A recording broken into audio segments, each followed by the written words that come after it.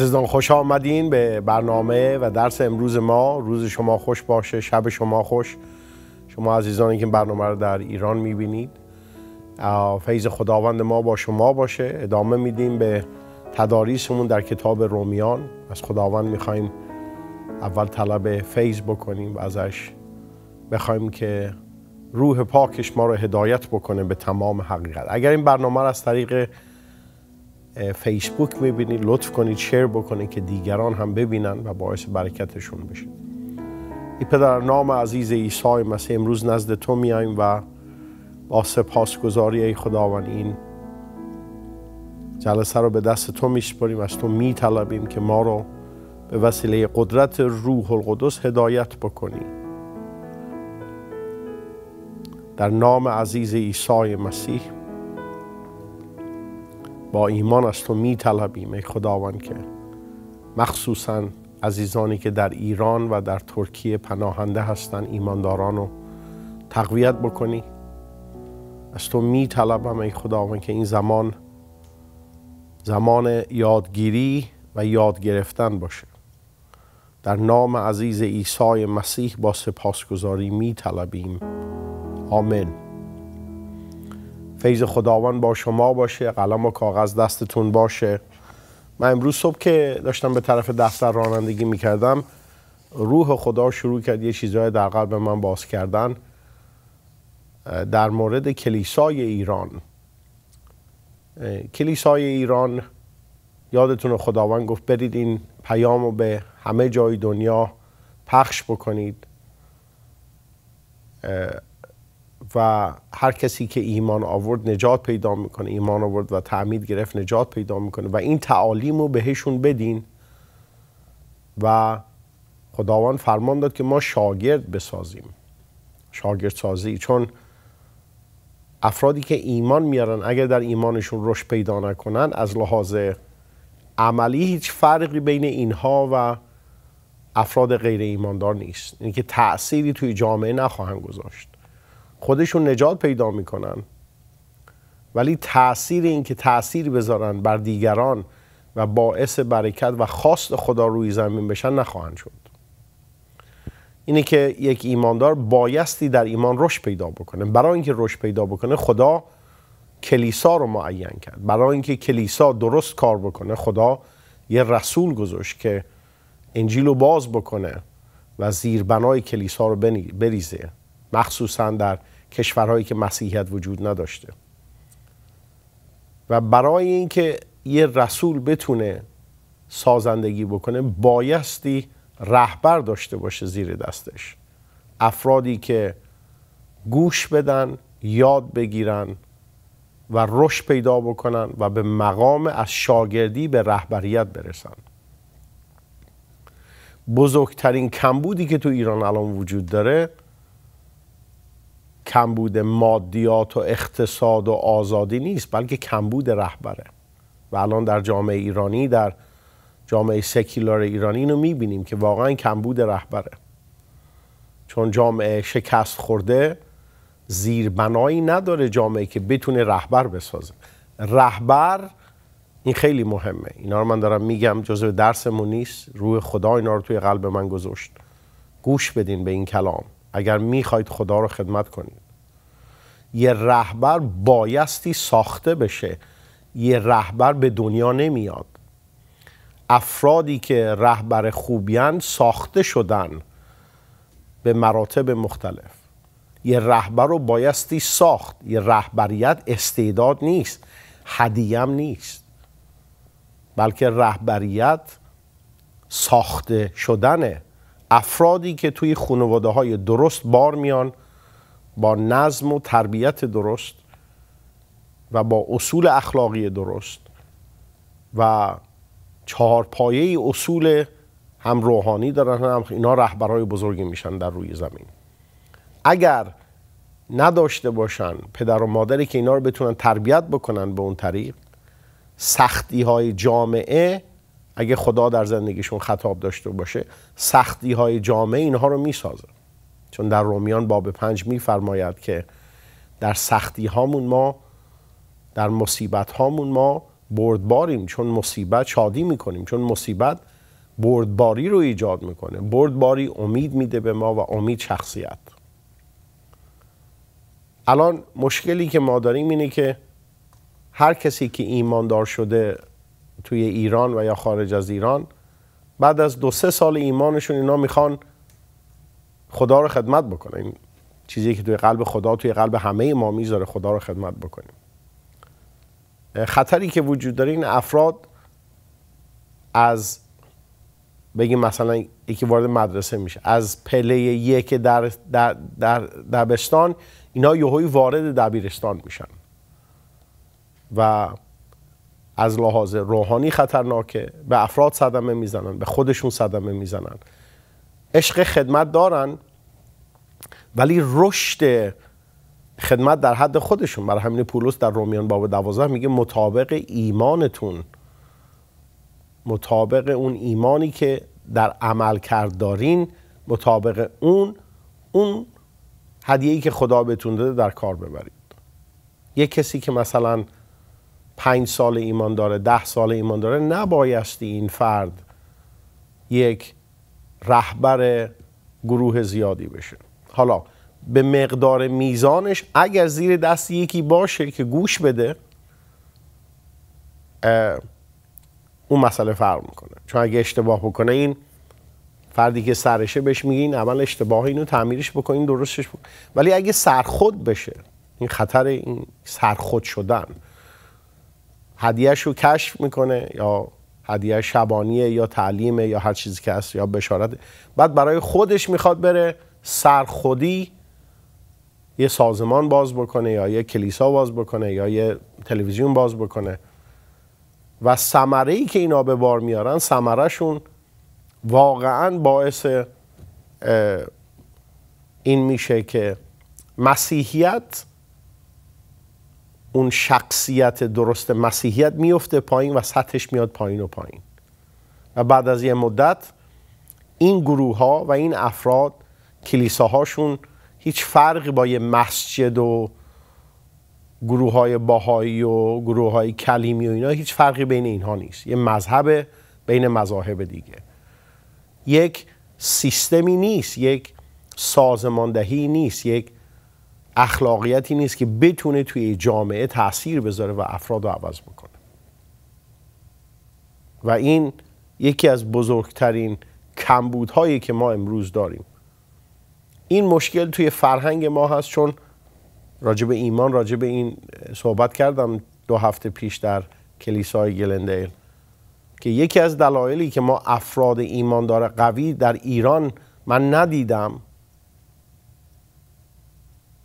دلیلش سرخودی و غرور فرهنگ ماست. افراد می‌خوان سرخود باشن. به جای اینکه گوش بدن مثلا من یه مثالی می‌زنم. ما یه برادر عزیزی داریم با خانومش در ترکیه بهزاد و بردیس. خیلی عزیزن این عزیزان. و شبانی کلیسای دو تا کلیسای ما رو در ترکیه می‌کنن. بهزاد و بردیس از لحاظ زمان ایمانی زمان ایمانشون دقیقا فکر کنم یه در حدود ده 15 سالی باشه. ولی افرادی که از لحاظ سرخود نیستن. من دیروز با بهزاد جان صحبت می‌کردم راجع مسئله ای این چیزی که بهش میگم قبول می‌کنه و عمل می‌کنه. این فرد یا حالا بهزاد رو نمی‌خوام مثال ببرم به عنوان مثال دارم افرادی مثل بهزاد رهبرای آینده ایران خواهند بود. چون یادتون باشه خداوند چی گفت؟ گفت شاگرد نمی‌تونه از استادش بالاتر باشه. ولی زمانی اومد که خداوند از بین شاگرداش رفت و اونا شدن رهبر. و این سیستمی که خدا معین کرده. اینه که یه فرد بایستی دائم در حال گوش دادن اطاعت کردن و یادگیری باشه. غیر از این باشه این غیر ممکنه یه رهبر بشه. افرادی که سر خودن فکر می‌کنن دانش دارن و سیستمی که به کار می‌برن توی زندگی روحانیشون یا توی خدمتشون بر مبنای دانششونه نه بر مبنای شخصیت. یکی از مشکل ترین چیزهایی که در جامعه ما وجود داره. در فرهنگ فارس زبان وجود داره. چون همه ما سر خودیم دوست داریم سر خود باشیم برای کسی دیگه کار نکنیم به کسی دیگه گوش ندیم. این سرخودی جلوی رشد ما رو می‌گیره که ما مثل یه میوه میمونه که میوه رو از بعضی کشورها که تو آمریکا وارد می‌کنن چون میوه فصلیه دیگه. چطوری که ما توی آمریکا هندونه رو توی زمستون می‌خوریم. توی زمستون که اینجا جایی نمی‌تونن هندونه رشد بدن. توی کشورهایی که آمریکای جنوبی که گرمه زیر قطبن اینها هندونه رو اونجا رشد میدن. کال میکننشون. میفرستن. وارد کشتی می‌کنن. میفرستن تو آمریکا که ما بتونیم هندونه رو ما همه فصل هر میوه بگی همه فصل می‌خوریم توی آمریکا. ولی اون هندونه رو که می‌کنن کال رشد پیدا نکرده. زمین بهش اون موادی که بده که این خوب رشد بکنه قوی بشه و طعم و مزه درست داشته بشه این که بعضی از میوهایی که ما می‌خوریم طعم نداره. دلیلش اینه که اجازه ندادن بهش. اون رشدی که طبیعتا خدا به اون میوه داده به دست بیاره. برای همین میوه مزدش از دست داده میوه رو می‌خوری ولی اونطور نیست که واقعا لذت ببری. فرق می‌کنه با میوه که توی کشورهای مثل خاورمیانه مثل ایران و ترکیه به فصلش میوه رو می‌خوری و به رسیدگیش می‌خوری. در مورد افرادی که می‌خوان خدا رو خدمت بکنن و زیر سر خودشونن کار خودشون رو می‌خوان انجام بدن راه خودشون رو می‌خوان برن فکر خودشون رو دارن تعالیم خودشون رو می‌خوان بدن. خودشون فکر می‌کنن چی درسته. این افراد غیر ممکنه. هدیه رو دارن. خدا هدیه به همه داده. و یه مقدار از اون هدیه رو استفاده می‌کنن ولی هرگز به اون پری و کاملیت اون هدیه نمی‌رسن که باعث برکت میلیون ها نفر بشن. بلکه هدیهشون محدوده. و حتی اگر از لحاظ تعدادی هم رشد پیدا بکنن ثمره ای که به بار میارن ثمره زندگی این افراد دنبال روی زندگی این افراد می‌بینی که ثمره های قوی نیست. ما توی غرب اینو می‌بینیم. بعضی از کلیساها زیاد تعدادشون. ولی از لحاظ ثمره اخلاقی و رشدی و قوتی اینا هیچ قوتی درشون وجود. تعدادشون زیاده.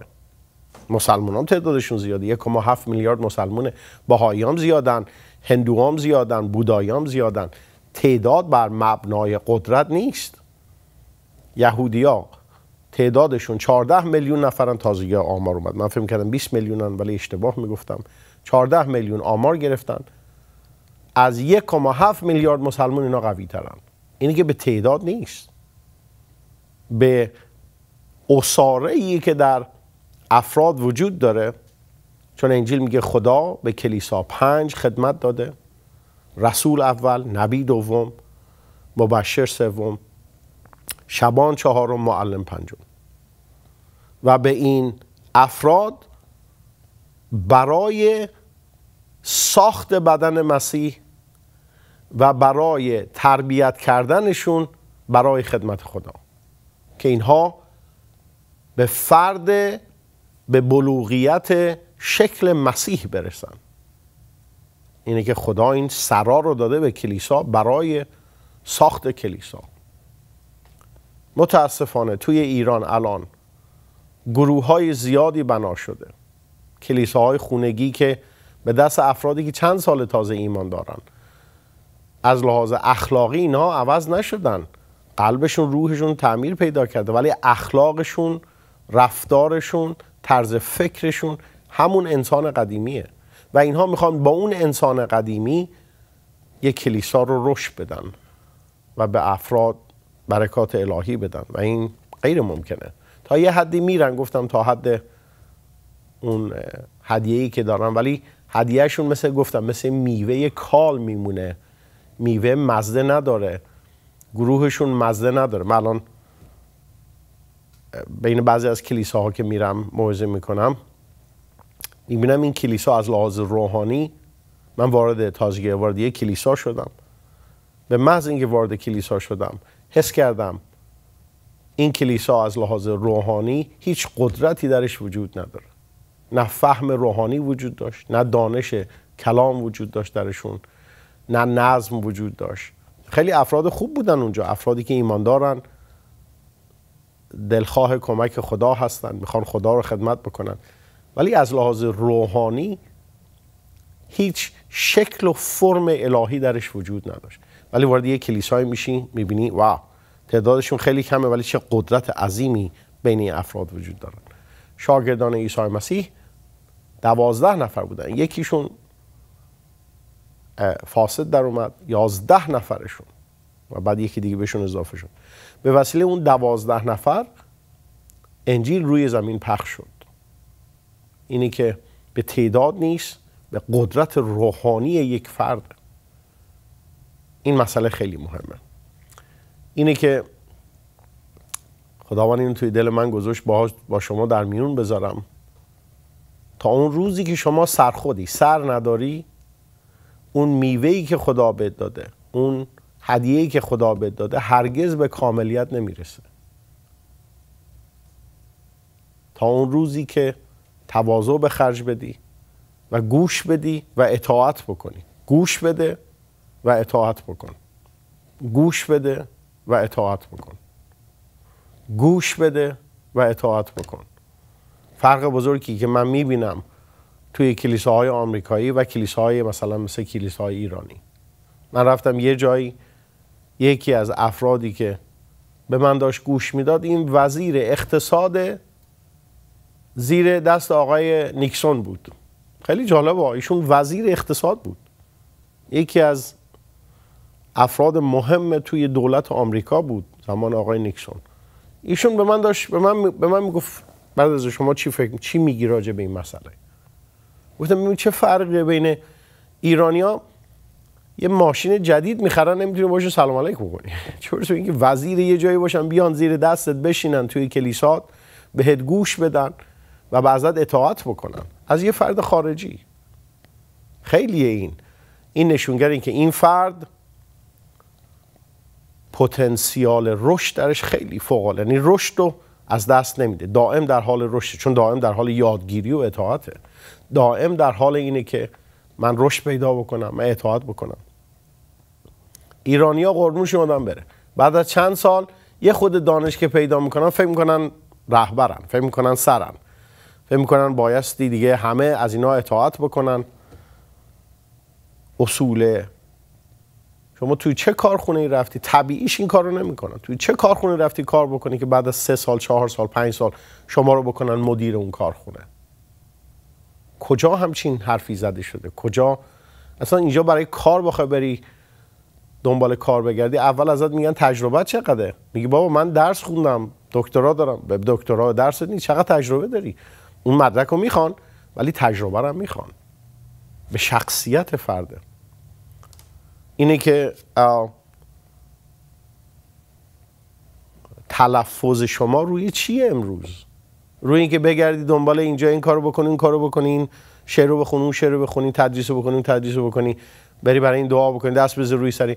تلفظ روی چیه؟ تمرکز عمل کرد روی چیه؟ یا اینکه می‌خوای رشد پیدا بکنی. شبیه خداوند بشی و مثل خداوند باعث برکت میلیون ها بشی. اینه که گوش بدین به من امروز. شماهایی که من با بعضی از افراد که صحبت می‌کنم طرز صحبتشون به من میگه از لحاظ روحانی اینا کجان با یکی تازگی صحبت می‌کردم. این فرد خیلی سال ایمان داره. ولی طرز صحبتش به من می‌گفت این فرد روحانی نیست. عملکردش بیشتر با چیزهای دنیوی و نفسانی طرز تلفظ ما طرز حرف زدن ما طرز گفتار ما طرز عمل کرده ما طرز کار بیزنسمون کردن همه بایستی فرق بکنه با سیستم دنیوی سیستمی که خدا ما رو دعوت کرده فرق می‌کنه با سیستم دنیا. یه فرد باید اینو تشخیص بده. وقتی میشنوه باز اینو تشخیص بده. اینه که باعث تاسفه وقتی من می‌بینم که این رشد قوی روحانی البته گفتم باز کلیسا کلیسا ایران جوون احتیاج به زمان داره. ولی یکی از دلایلی که ایران زیر سختیه چون من با خداوند یه مقدار صحبت کردم گفتم خداوند چرا این وضع کلیسا اینطوره تو ایران؟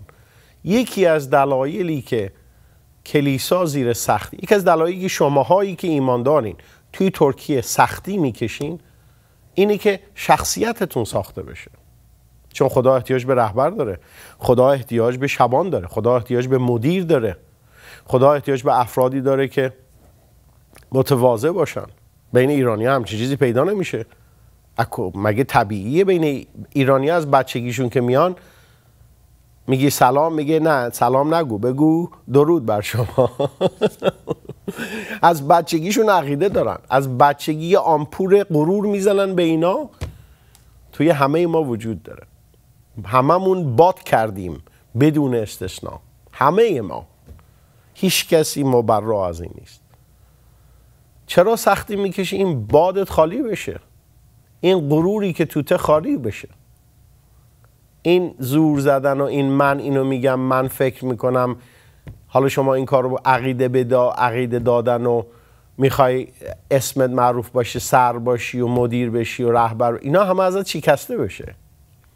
اینه که سختی صبر رو ایجاد می‌کنه. افرادی که صبورن انجیل میگه محتاج به هیچی نیستن. افرادی که صبور نیستن گفتم لیمو رو وقتی فشارش میدی چی ازش میاد بیرون؟ آب لیمو. ایرانی ها رو الان فشارشون دادن دارن میدن. الان دیگه به حد آخرش رسیده. چهل ساله. این دولت شریر اسلامی ایران. این گردن ایرانی ها رو گرفته داره فشار میده. می‌دونی چی داره از ایرانی ها میاد بیرون؟ این چیزی که از ایرانیا داره میاد بیرون فکر می‌کنه من دارم به شما بی احترامی می‌کنم این حرفا رو می‌زنم. دلیلم اینه که من این همه پول صرف بکنم. این همه ما زحمت بکشیم دعا بکنم. بیام اینجا به شما بی احترامی بکنم. خیلی جالبه. اینه که کار دیگه ای ندارم انجام بدم. نمی‌تونم برم کار دیگه انجام بدم. هدفم اینه که تمام درآمد و تمام قوت و تمام تمرکزم رو بذارم اینجا که بیام اینجا برنامه پخش بکنم به شما بی احترامی بکنم. واو چه شغل عجیبی خدا به ما داده. ولی الان دارن ایرانیا رو فشار میدن. چی داره ازشون میاد بیرون؟ چی فکر می‌کنی داره از ما میاد بیرون امروز؟ یه چیزی داره از ما میاد بیرون که بوی گند میده. و بوی گندش انقدر زیاد شده که همه می‌خوان از ایران فرار کنن. تا حالا رفتی وارد یه منطقه بشه همش فاضلابه. دماغ تو اینطوری می‌گیری نمی‌تونی تنفس بکشی. بوی گندی که از ما داره میاد بیرون باعث این داره میشه که همه می‌خوان از ایران فرار کنن. میگیم دولت ولی به دولت نیست به مردمه. اگه مردم با همدیگه با محبت و مهر و آرامی زندگی کنن وقتی معامله می‌کنن سر همدیگه رو کلا نذارن دزدی نکنن دروغ نگن کی می‌خواد از اون منطقه بیرون بیاد؟ حالا دولت هم هر کاری می‌خواد بکنه بکن به مردم ماست به اون شخصیتی که در ماست. و هدف این سختی ها امروز یه هدف بیشتر وجود نداره یا دو تا هدف. یکی اینکه ذات اسلام شناخته بشه که اینو دارن شناختن دیگه. اونایی که بعد از چهل سال ندونن اسلام ذاتش چیه دیگه اونا دیگه نمی‌خوان بدونن. اونا دیگه خودشون رسما میگن ما نابینا هستیم. امضا کردن زیر سند نابینایی ما رسما جاهلیم و کوریم. ما نمی‌فهمیم. اینا چل سال به ما کتک زدن هنوز اینا خوبن.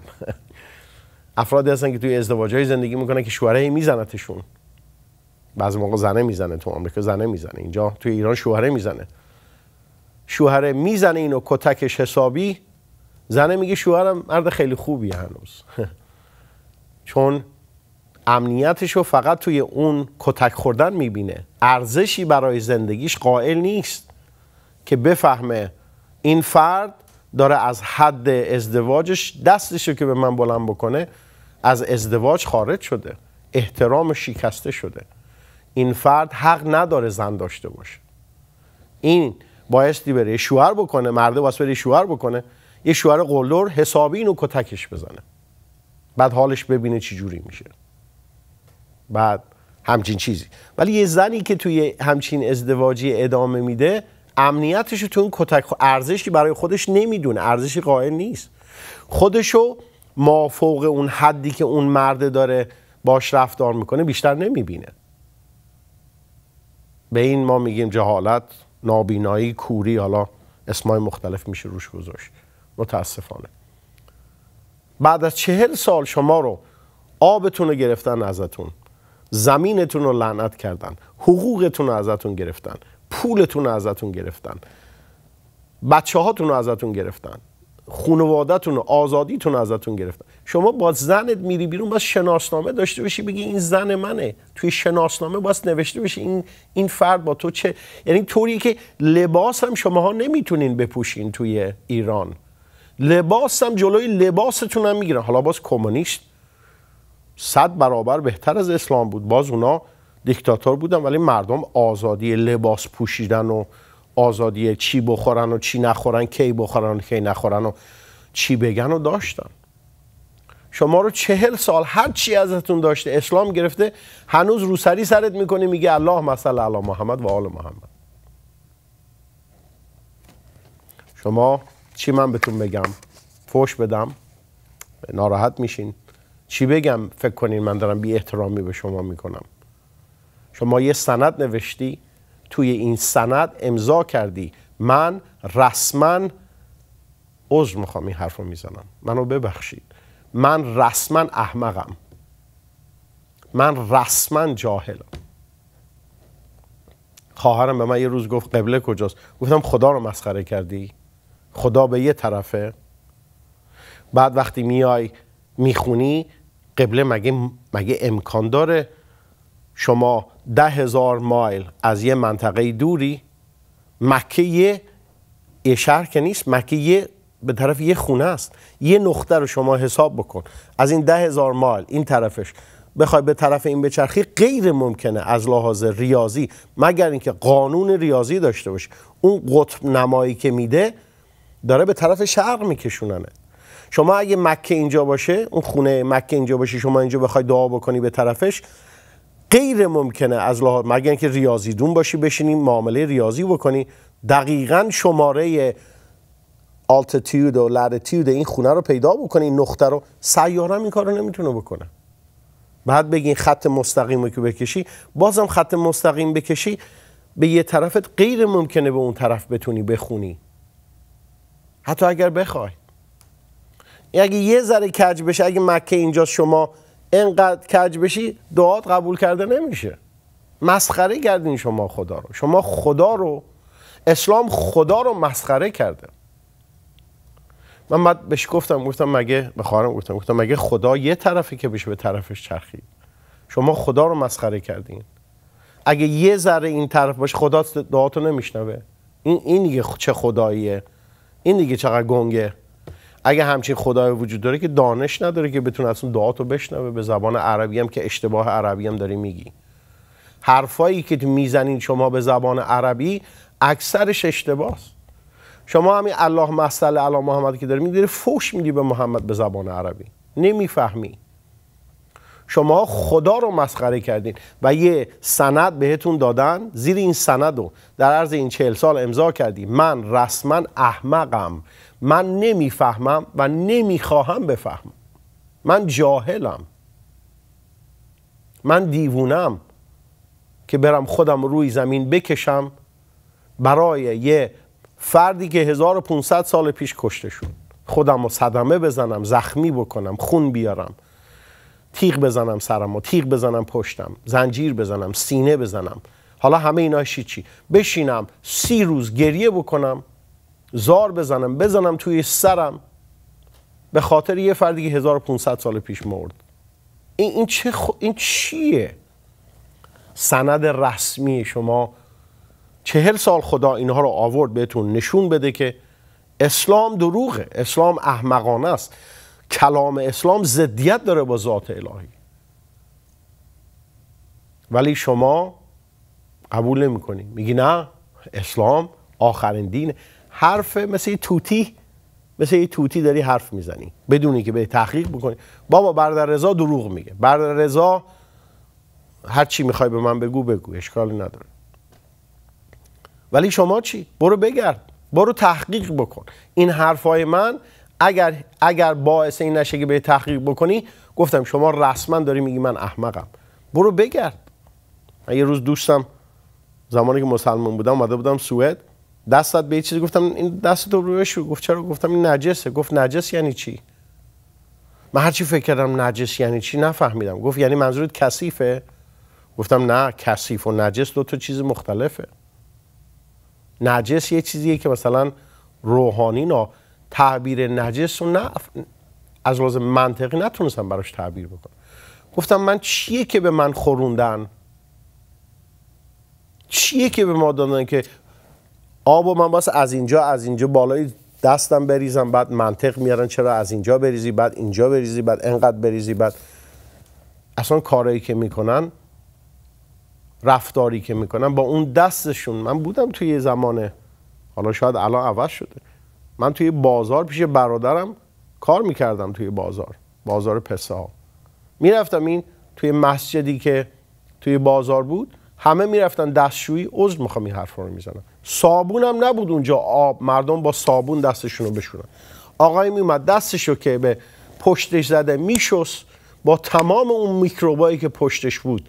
میشست دستش رو با آب بعد وضو می‌گرفت بعد با همون دستش آب پر می‌کرد میریخ توی دهنش دهنش رو چیز می‌کرد میریخ بیرون می‌رفت نماز می‌کرد یه دونه از این بیسبال یه چیز داره به نام بعد یه چوب کلفته. اگه با اینم بزنن توی سر ما هنوز میگیم الله اکبر.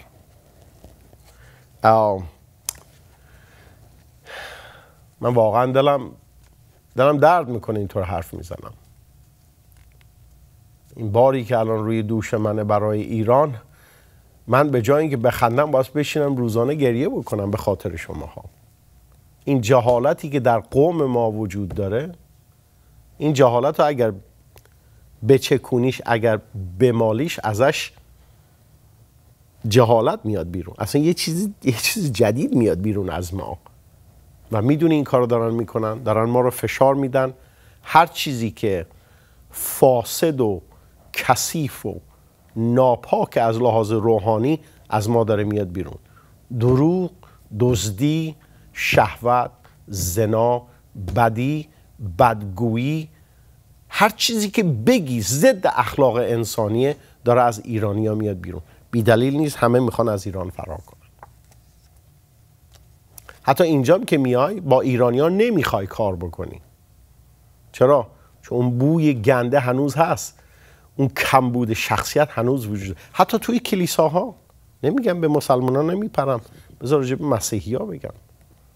توی بین ما بین خود ما مسیحی ها همچین چیزی وجود داره. اینه که ما بایستی بایستی عوض بشیم. اولین forget about فراموش کن راجع به این که می‌خوای خدا رو خدمت بکنی. مثل اینکه خدا نوکر کم داره که می‌خواد از ما استفاده کنه. فراموش کن راجع به این مسئله. اولین چیزی که واسه مد نظرت باشه اینه که من رشد روحانی پیدا کنم. اخلاق من عوض بشه. طرز معامله من عوض بشه. طرز صحبت من عوض بشه. طرز رفتار جاهلیت من عوض بشه. طرز عقیده دادن منم عوض بشه. طرز قضاوت کردنم در م... میری توی کلیسا همه قضاوتت می‌کنن. کلیسا شده دادگاه. حالا تو ایران باز یه چیز دارن اونجا. میان جلوی رود می‌گیرن کتکت می‌زنن. تو کلیسا میری پشت افراد صحبت می‌کنی غیبت می‌کنی بدی میگی قضاوت می‌کنی. به خاطر صورتشون به خاطر موشون به خاطر لباسشون به خاطر پولشون به خاطر حرفشون به خاطر کارشون. همش از همدیگه ایراد می‌گیریم. برادر شما این کارو بکن. برادر این کار درسته. این میز اینطوری چینی درسته. این میز اینطوری بچین. شما چرا دست به این زدی؟ شما چرا اینطور شما چایی که درست کردین چایش اینطوری با یه چای دیگه بگی شما این نونی که خریدین نونه خوب نبود. یه چیز دیگه بگیر. ما همش راجع به این مسئله تو کلیسامون دردسر داشتیم. بعد به من میگن برادر چرا شما کلیسا رو بستی؟ کلیسا اسمش رو بس مسجد. فرقی من ندیدم بین مسجد و کلیسا. این رفتاری که ما داریم رفتاری نیست که خدا رو خوشنود می‌کنه. اینه که امروز خدا وقتی با داشت صحبت می‌کرد راجع که ما توی ایران رهبر احتیاج داریم من به این فکر افتادم که بی دلیل نیست شما سختی می‌کشی. اگر شما در سختی هستی به من زنگ بزنی بگه برادر رضا من دعا کن سختی آزاد بشم. همچی کاری من نمی‌کنم. یکی برام تازگی نوشت توی ترکیه. بعد از ما من و خانومم چند سال ایمان داریم ما ترکیه خیلی سختی می‌کشیم. می‌دونیم من براش چی نوشتم؟ برای ما گفت دعا کن. رومیان باب پنج آیه یک تا پنج. سختی داری می‌کشی؟ خدا خطابت کرده که رهبر بشی. برای همین داری سختی می‌کشی که این فاضلابی که توی ما وجود داره بیاد بیرون. سختی ها این کارو می‌کنه. سختی ها به خودت میای اگه همه پشتت بزنن قربون صدقت برن بعد چای بدن این کار بکنن که فکر می‌کنی خیلی آدم خوبی. همه دوستت دارن. وای به حال شما خداوند گفت. اگر دیگران از شما خوب صحبت بکنن. اگه همه بگن واو این برادر چه آقای خوبیه. اگه واو این چقدر خوب ما همه دوستش داریم. وای به حال من. اگر همچین روزی برسه. خدا رو شکر از ما بد میگن. اینه که چیه که شما می‌خوای در زندگی؟ دنبال چی شما؟ دنبال پولی؟ پول می‌خوای؟ دنبال چی هستی؟ دنبال شهوت و خوشگذرونی و جشن و بزن به کوب و مشروب؟ چی می‌خوای تو زندگی؟ می‌خوای روز آخری که نفستو دادی رفتی یه مشروب خار بگن این آقا همش مشروب می‌خورد. سرگیسیان. این مغازه مشروب فروشی مال آقای سرگیسیان بود. چی؟ معروف به چی هستی شما؟ چی که معروفی؟ ارامنه به چی معروفن امروز تو ایران؟ شمایی که مسلمانین به چی معروفین توی دنیا؟ شمایی که مسیح اسمتون مسیحی میگین چی معروفتون کرده؟ شمایی که فهم کنین رهبرین برای چی مردم دنبال شما بیان؟ به چه دلیل بیان دنبال رهبر؟ یعنی کسی که دنبال رو داره. دنبال رواتون کیان؟ آقای خامنه ای هم دنبال رو داره. دنبال روش کیان؟ سپاه. کیان که دنبالش؟ شما معرفتت دانشت معروفیتت بر چه مبنای؟ چیه که شما رو می‌شناسن؟ ایران رو بر مبنای چی می‌شناسن امروز؟ ایرانی ها رو بر چه مبنای می‌شناسن امروز؟ چیه که شما می‌خوای انجام بدی؟ توی این زندگی. چی می‌خوای به دست بیاری؟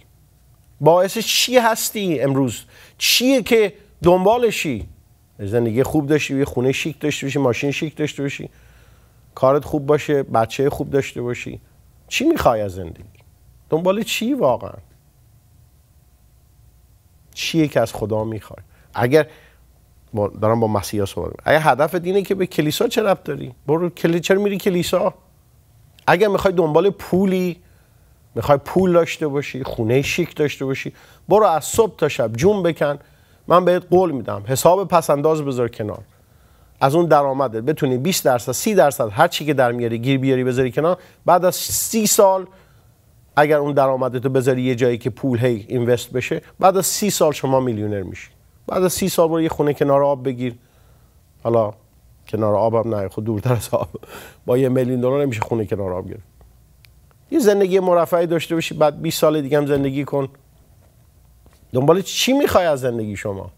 امروز من دارم با شما مناظره می‌کنم. آقای محترم خانم محترم چیه که از زندگی می‌خوای؟ شوهر کردی شوهر بر چی شوهر کردی؟ بچه می‌خوای؟ چیه که می‌خوای؟ چرا چرا ایماندار شدی؟ هدف ایمانت چیه؟ چرا می‌خوای ایماندار بشی؟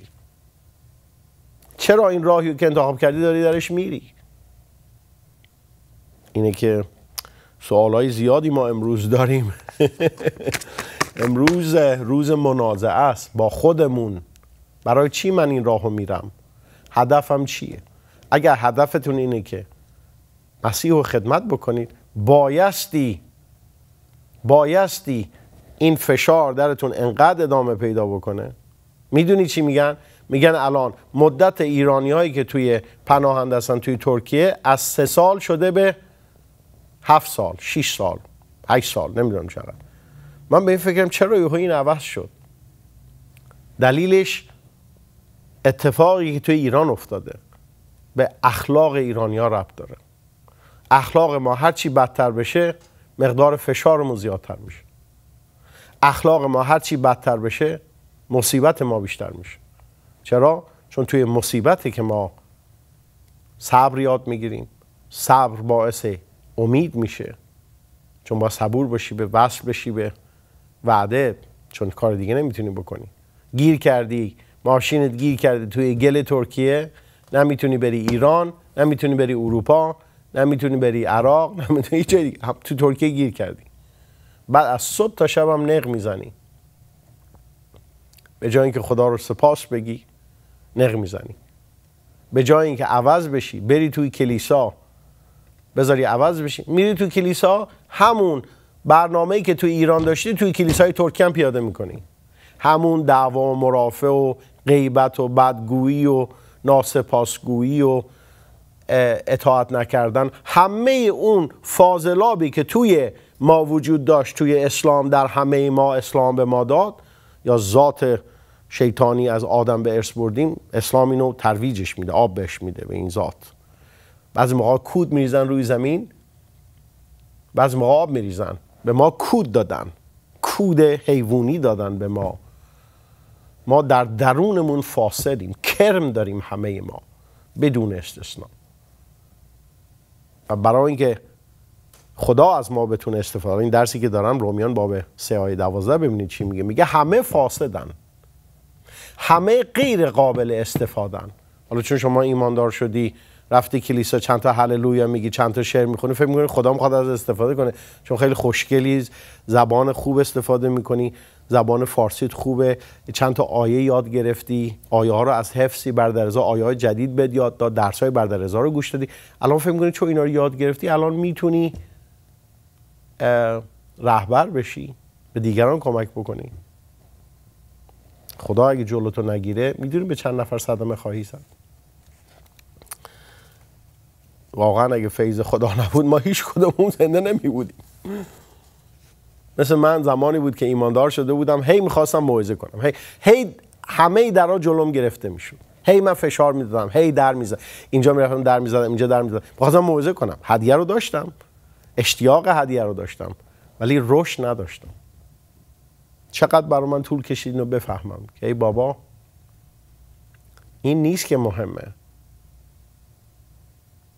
موعظه نیست که مهمه اون کلامی که از دل من خارج میشه می‌تونه دنیا رو عوض بکنه نه موعظه کردن من پری اون کلام می‌تونه باعث تعویز دیگران بشه نه حرف زدن همه حرف بچه هم حرف می‌زنن لیله ویله لیله لیله ویله لیله لیله لیله بچه بعض بچه ها دیدی؟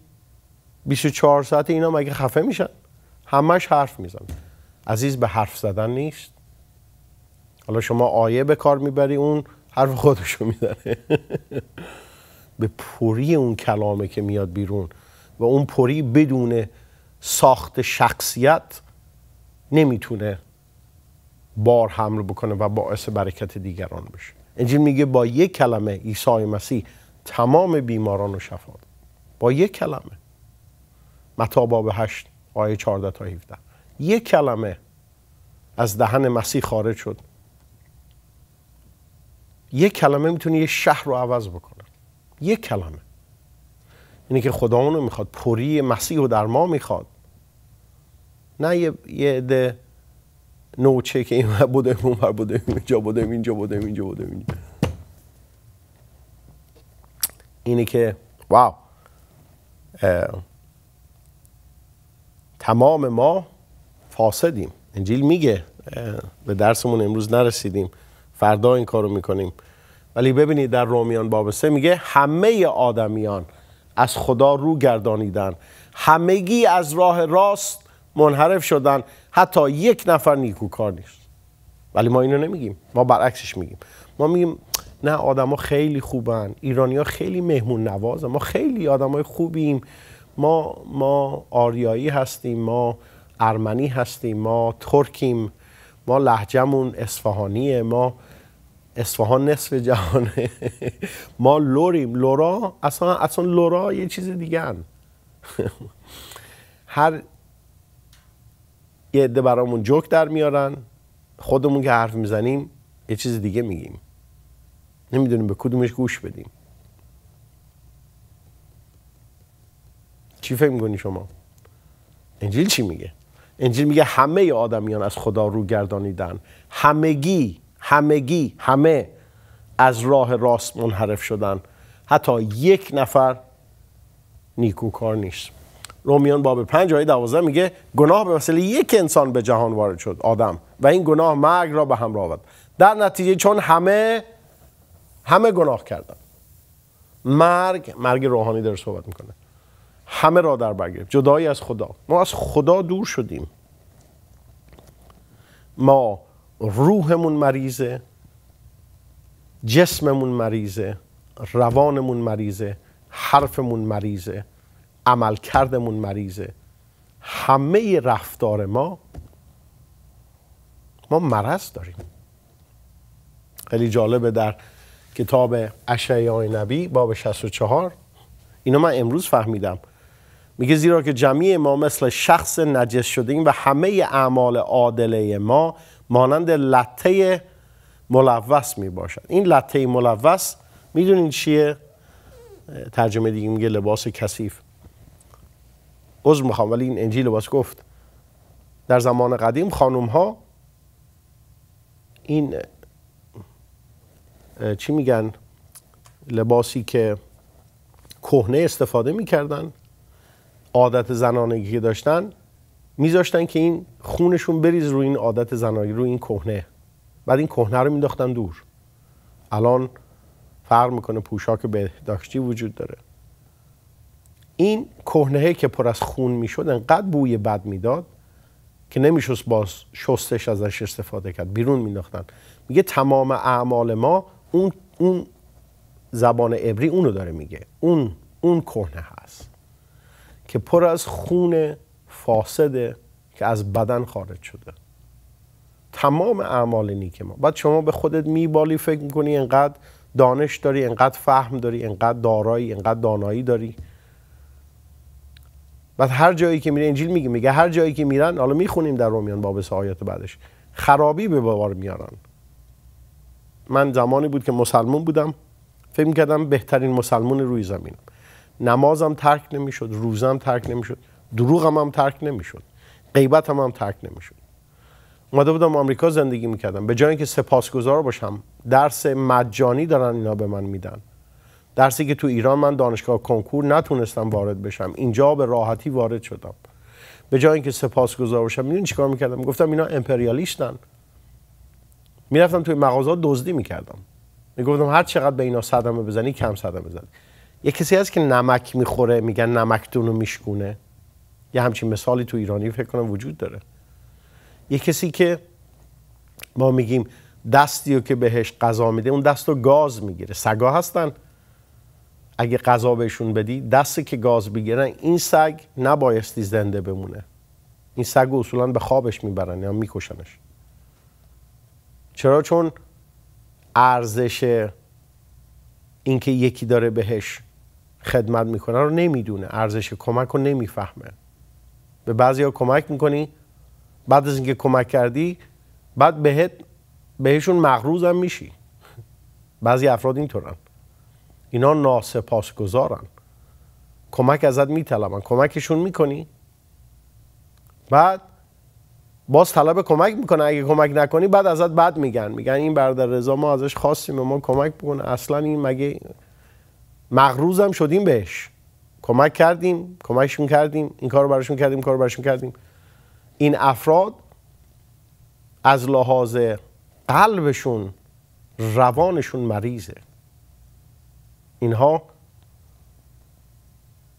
اخلاقشون به هم خورده. یه چهارچوب اساسی ندارن که اینا سپاسگزار باشن به خاطر هر یک ذره کمکی که از دیگران می‌گیرن.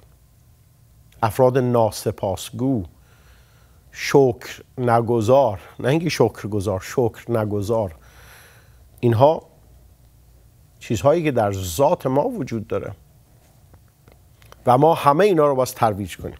بعد شما میری موعظه می‌کنی وای به حال ما در روز داوری.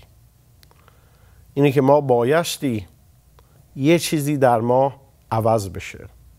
یه چیزی در ما فرم بگیره. مسیح شکلش فکرش صحبتش در ما شکل بگیره. بعضی موقع من وقتی به خودم فکر می‌کنم میگم خداوند من واقعا لایق تو نیستم که انجیل تو رو من پخش بکنم. بعضی موقع من فکر می‌کنم به خودم که من واقعا لایق خداوند نیستم. ولی خداوند در حد ما در حدی که ما ایمانمون کار می‌کنه از ما استفاده می‌کنه. ولی ما بایستی بیشتر بفهمیم بیشتر رشد پیدا بکنیم. پرتر بشیم. مهربونتر آرومتر ملایمتر صبورتر. تمام صفات الهی در ما پرمحبتتر رشد پیدا بکنه. که ما بتونیم خداوند و اونطوری که هست خدمت بکنیم و باعث برکت بشیم. اینه که ما واقعا به یه تحول روحانی همه ما احتیاج داریم. اینه که دعای ما این باس بشه خداوند منو عوضم بکنه. خداوند از تو میطلبم. به روح من قوت بده. من گوش بدم اطاعت بکنم. زیر سر یکی باشم. زیر اقتدار یک کسی دیگه باشم. یک کسی که به من بگه برادر خواهر این این رفتار درست نیست. این این کار درست نیست. بعد بگم چشم عوض بکنم. سریع عوض بکنم. بچه هایی که گوش میدن اطاعت می‌کنن رشدشون خیلی بیشتر از بچه هایی که این کار نمی‌کنن. من می‌بینم توی خانواده ها بعضی بچه ها رشدشون فوق العاده است. از لحاظ برکت بیشتر برکت می‌بینن تا بچه های دیگه. یه پدر یه مادر پدر و مادر فرق نمی‌ذارن.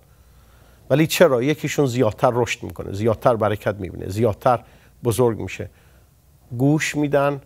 به کسی که گوش میده انجیل میگه مرقس 4 بیشتر داده خواهد شد. اینی که مواظب باشید. چی میشنوید؟ مواظب باشید. اطاعت گوش دادن صبر محبت. اون ثمرات عملکرد روح القدس در زندگی ما. محبت بردباری حلیم بودن ملایم بودن شادی خوشی در روح القدس و و و. خداوند از تو میطلبیم به ما فیض بده امروز. این کلامی که کلام هم توبیخ بود هم تشویق کلام ما دریافت بکنیم و به یه فکر باشیم که خدا ما احتیاج داره رشد پیدا بکنیم ای پدر. ما احتیاج داره گوش بدیم در ایمان قوی بشیم و مطیع دیگران باشیم. احترام بذاریم به همه. به خاطر احترامی که به مسیح دارید انجیل میفرماید مطیع یکدیگر مخصوصا به اون کسی که خدا گذاشته به عنوان سر ما. زیر اقتدار یه فردی که سر ماست. شبان ما نبی رسول هر کسی که هست. در نام عزیز عیسی مسیح پدر می طلبم که بین قوم ما این فهم داده بشه. اگر تا اون روزی که این فهم داده نشه در سختی ها خواهیم. در نام عزیز عیسی مسیح با سپاسگزاری می طلبم آمین یه چیزی می‌خوام بهتون بگم قبل از اینکه برم تا روزی که شخصیت ما ساخته نشده ما در سختی ها خواهیم اینه که می‌خوای آزاد بشی از سختی ها زندگیت ملایم و آروم بشه یاد بگیر عوض شو طرز حرفت طرز گفتار طرز فکرت طرز رفتارت با دیگران عوض میشه طرز رفتارت با همسرت با بچه هات با دوستات با شبانت با کلیسا با دیگران عوض میشه در نام عزیز عیسی مسیح. تا جلسه بعد. آمین.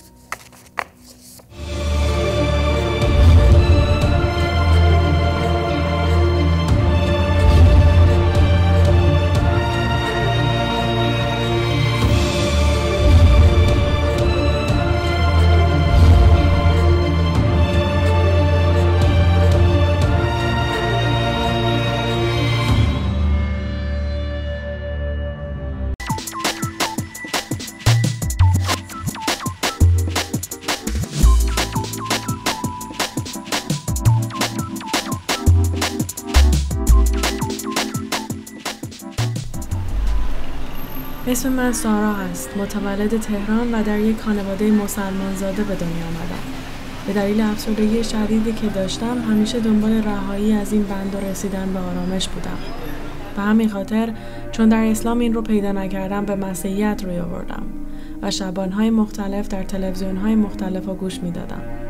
افسردگی من اونقدر شدید بود که هیچ چیز در من رسوخ نمی کرد و به جایی رسیدم که تصمیم به خودکشی کردم. حتی طرح خودکشی خودم را هم کشیدم. روزی که تصمیم خودم رو گرفته بودم و می‌خواستم عملیش کنم روبروی تلویزیون نشسته بودم و کانال نجات را نگاه می‌کردم. لحظه شبان رضا گفت توی که از افسردگی رنج می‌بری. تنها راه رهایی از این مشکلت عیسی مسیحه. تلفن رو برداشتم به شماره که زیر تلویزیون نوشته شده بود زنگ زدم و خانمی برام دعا کرد. من قلبم رو به مسیح دادم و او را به عنوان خداوند و نجات دهنده خودم پذیرفتم. به خدا را شکر می‌کنم به خاطر اینکه برای همیشه از این افسردگی رهایی یافتم.